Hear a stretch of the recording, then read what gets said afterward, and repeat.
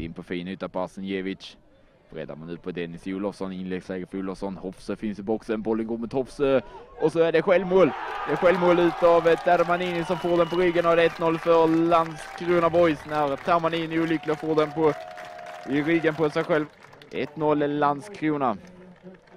Vänder över spelet på Lundberg som inte varit alls eh, så aktiv och bra som han brukar vara idag. Tar sig förbi första gubben, tar han sig förbi andra med. Bortre sidan kommer Truls Wergen, Wergen skjuter mål!